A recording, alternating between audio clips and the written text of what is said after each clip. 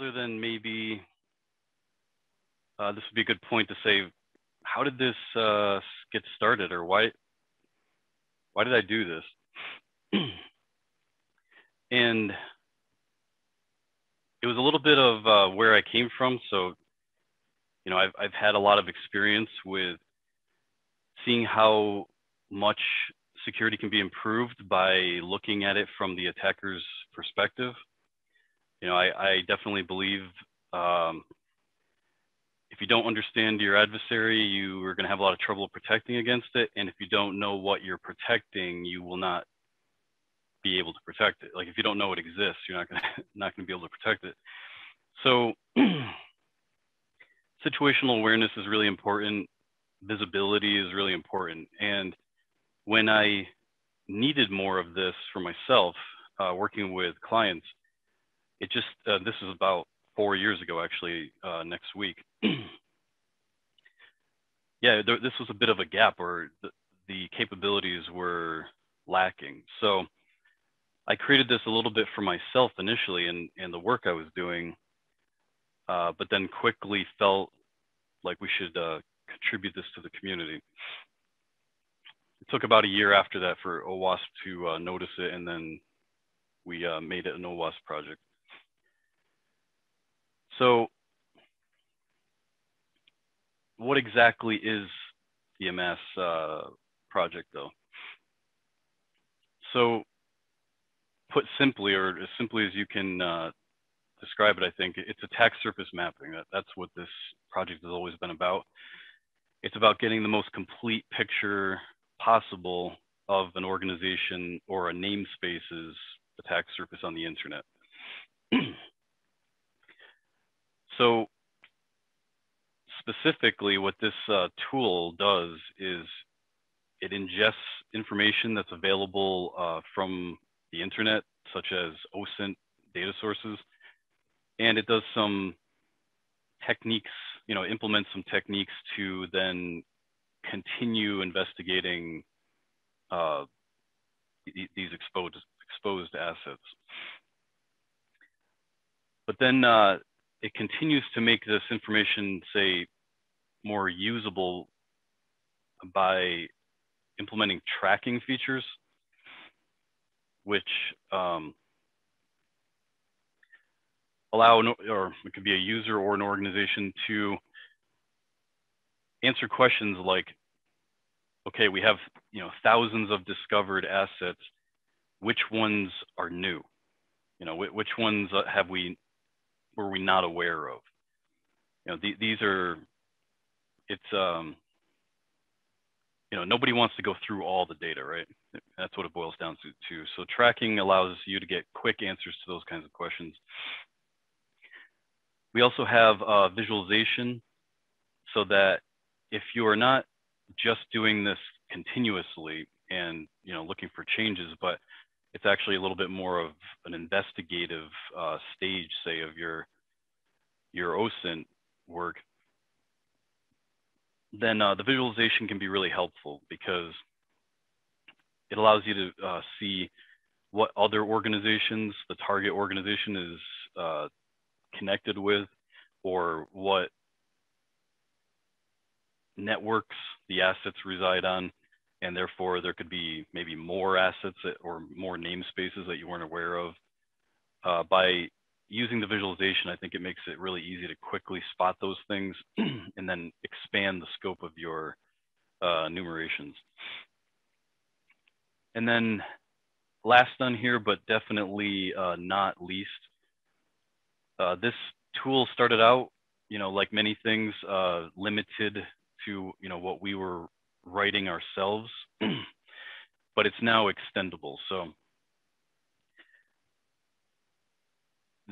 if you, if a user or an organization has its own data sources, uh, they can now roll that in to their use of the Amass project, and we'll we're going to touch on all these things a little bit more um, in the upcoming slides.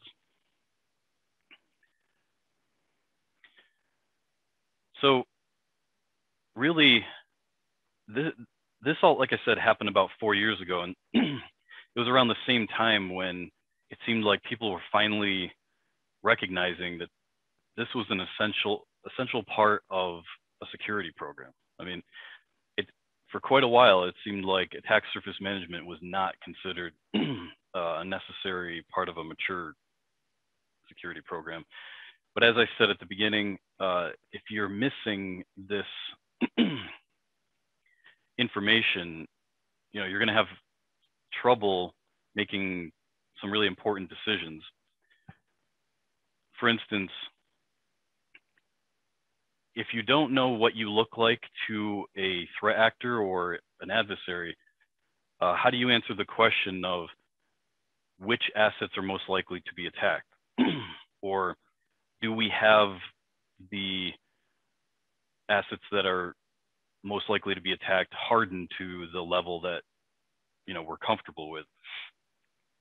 What about um, do we even know everything that's exposed on the internet? Which that perhaps that sounds uh, silly, but I have yet to work with any company uh, where when that question comes up, that the answer was they knew everything that was exposed. Every single company I've ever worked with and helped them with this, uh, we ended up discovering many more assets that were publicly reachable and they were not aware of it. So th this is a very serious problem. Um, and a lot of it, as I uh, say here, it comes from this ongoing issue of asset inventory is rarely ever up to date with what's actually deployed. I mean, it's, it's kind of that simple. And that's why you need attack surface management in order to make sure that you're staying on top of not what you think is deployed, but what is actually deployed, what's really uh, out there right now. You might, you could kind of call it what's in the, what's out in the field versus, you know, what you hoped was out in the field. as I said, I, mean, I guess uh, what I I'm always pinching myself that this doesn't seem a little bit more like, well, of course, right? You when you're listening to this, perhaps you think, well, yeah, doesn't wouldn't everyone look at it this way? But it's this has not been a priority um, for a lot of companies until the last couple of years, and this project has attempted to help that movement to put the spotlight on the importance of attack surface management and kind of lead the charge, at least from the open source community, um, on how important this really is. Like I say here in the, the subtitle, you can't protect something if you don't know that you have it out there, right? If, if you don't know it's exposed, if you don't know it's been deployed, or you it's been, you know this has happened and you weren't made aware of it, or the right teams weren't made aware of it, then it could just be out there on its own, so to speak. like uh, I mentioned earlier, this happens more than perhaps you would think, and it's just, frankly, I think unacceptable, um, especially when there's ways we can deal with this. So another uh, focus of this project is there's a lot of places where you can get data about what's on the internet. And there's a lot of ways that you can attempt to enumerate what's on the internet. Amass currently uh, supports 70 or more different uh, data sources out of the box. So it's quite a bit of uh, work maintaining all of these different data sources and making sure that they're all working correctly and we're taking full advantage of them uh, when they make you know changes that we're uh, updating the Amass tool uh, as well so that we're continuing you know to use these data sources correctly. a lot of that has um, been made a little easier by establishing uh, better relationships with the organizations that uh, own these data sources. But at the end of the day, it really is we have a lot of contributors on this project and everyone is working hard to try to keep uh, all of this up to date and add new data sources as we're as we learn of their existence. You know, we definitely started off with far fewer than 70 and it's been a mixture of just hard work on this project and a strong community around this tool that has uh, made it possible to expand it to what it is today. Uh, like it says here, you could think of the data we're getting from these data sources as uh, the trampoline stage of the enumeration where you know we start off with all this data we're getting from uh, data you know these data sources or services and then the tool continues to investigate these namespaces and uh, the infrastructure in order to attempt to reveal more assets that perhaps the data sources didn't know about.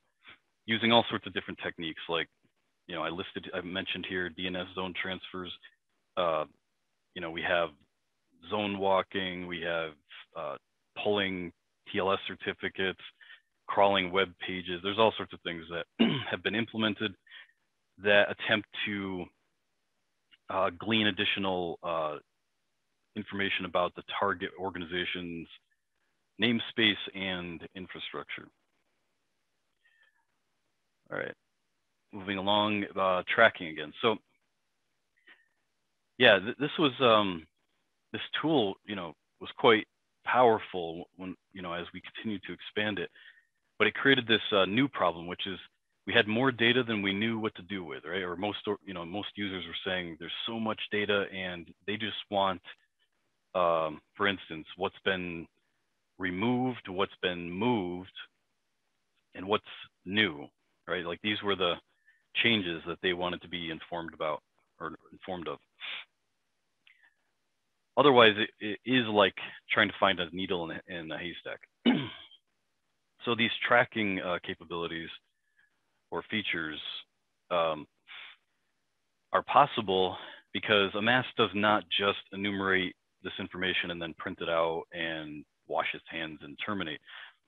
It's storing all this information in a graph database. And if you run your enumeration, let's say, I mean, it could be every day, it could be every week, it could be continuously, whatever, whatever makes sense for your um, security program. It's storing every single enumeration in the database and all that is available to us and we can you know look at what was different from one enumeration to the next. It also helps us to make sure that everything we knew previously is being considered in the future enumerations so that we get consistency across the um, investigations or enumerations so that it, when we say something's changed from one to the next, uh, you know, you can at least know, and we knew everything this time that we knew previously. so if it if we didn't find it, there's a you know pretty high percentage chance that that means it's because it's gone now.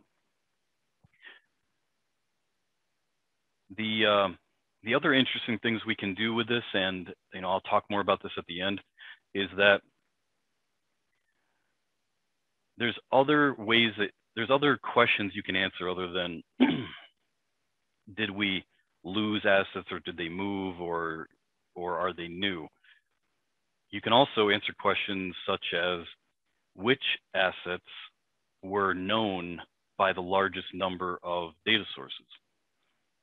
Or another way to look at that or, or say that could be which of these assets are most likely to be discovered by an adversary?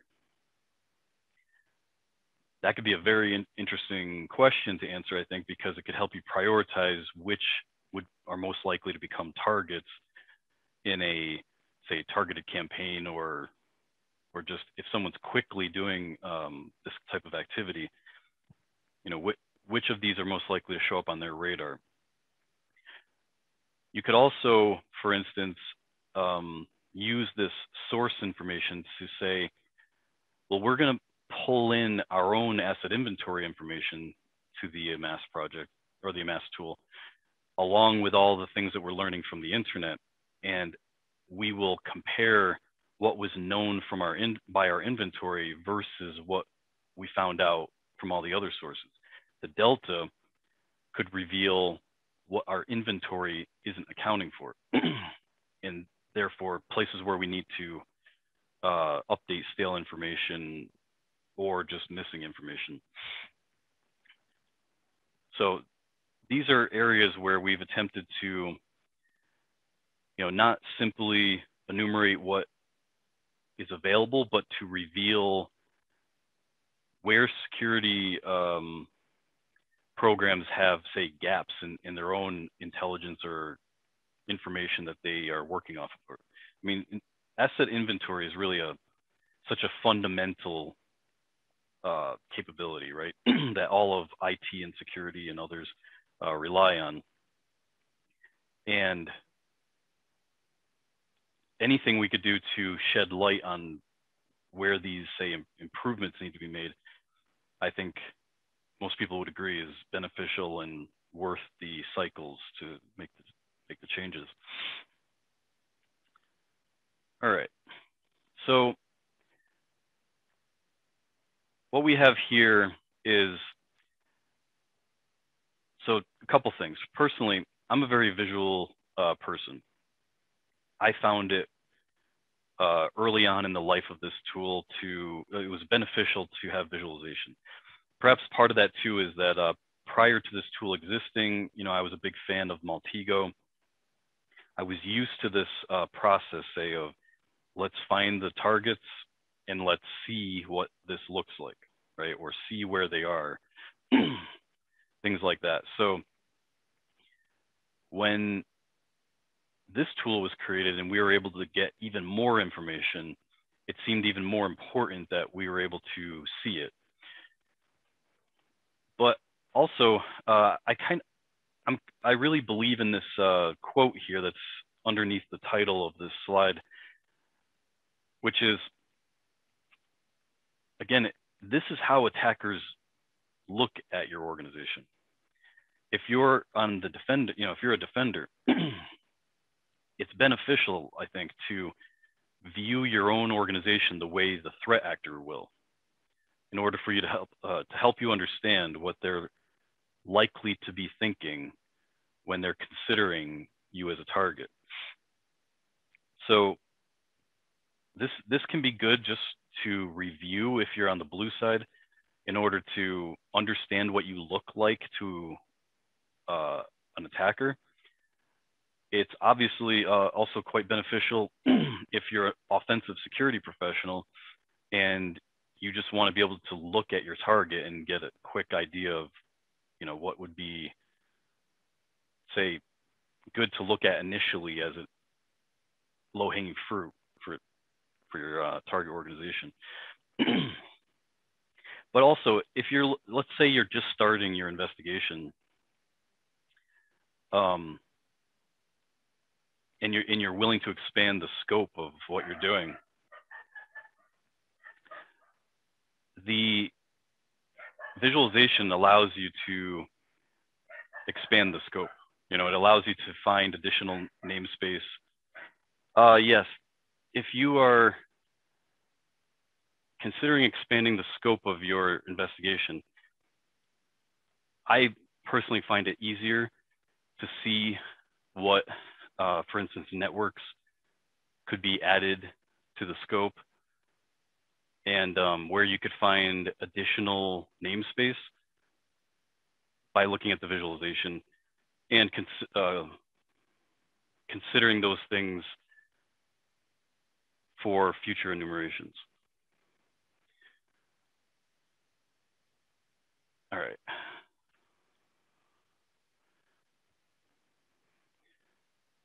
So I mentioned this uh, briefly in the beginning, but this has turned out to be uh, quite important. So extendability.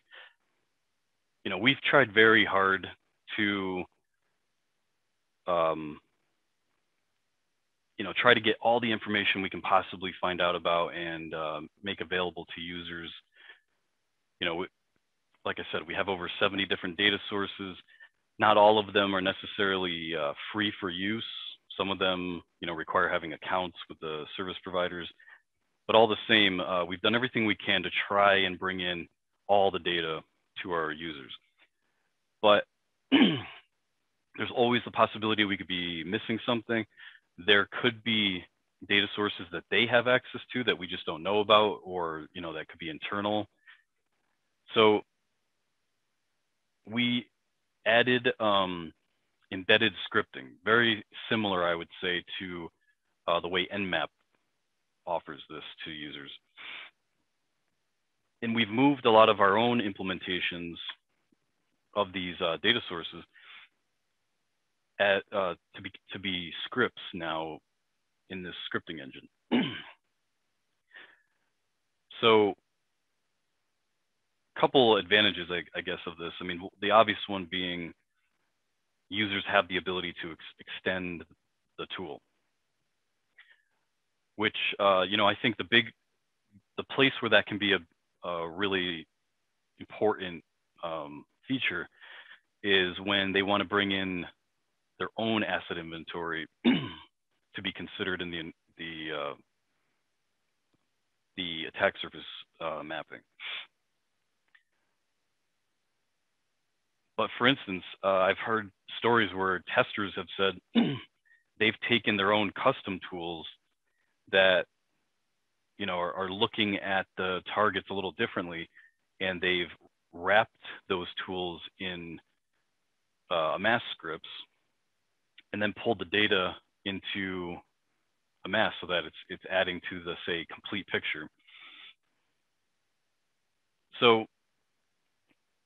you know, this is the, one more uh, again important uh, reason I think to have this is these scripts are so much easier to write. I mean, they're they're shorter. Uh, there's a lot of examples of them, so it's very easy for someone to you know look at one of these and then write a new one. And it really allows the, the person writing it, the developer, to focus on the data source and how it works and not how Amass works. so it makes it quicker for people to contribute uh, new data sources or to enhance our implementation for existing sources. And it's, it's really been an important addition to this, uh, this tool. All right. So what, what do we want to do now? I mean, I, many people have said that um, this project has been quite successful in helping bring attack surface management, at least from the open, you know, as an open source contribution, um, you know, to the community. That it's it's helped shed light on how important attack surface management is.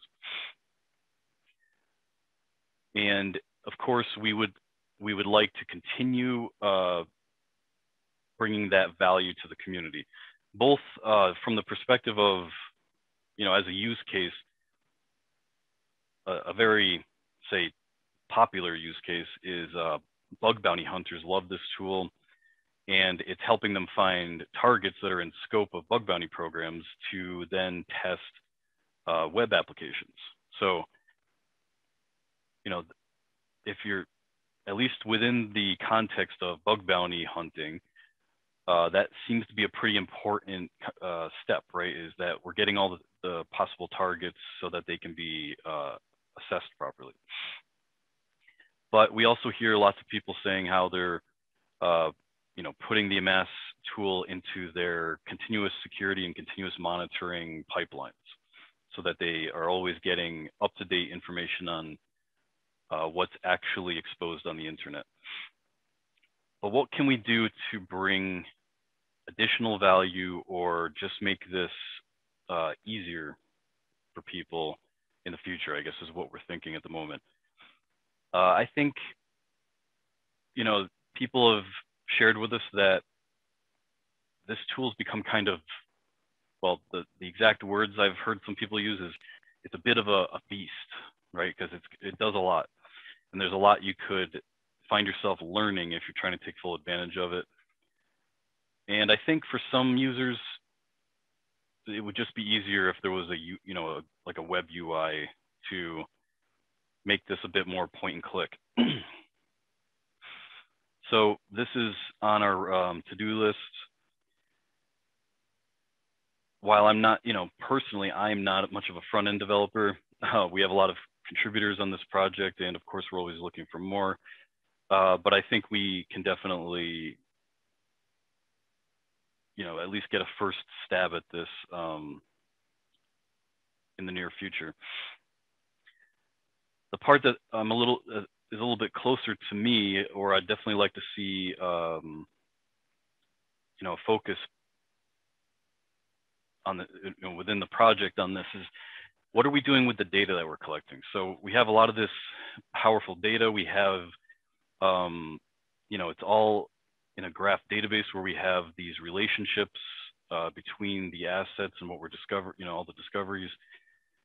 We're already doing quite a bit with this, but it, it just seems like there's so much potential to do more and make it easy for users to glean more useful information from what we've collected.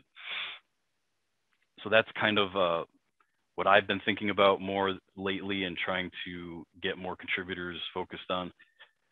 Uh, but the truth is we, we have plenty of contributors that are, they've kind of taken ownership of uh, maintaining the uh, data sources and, and, making sure our integrations are strong.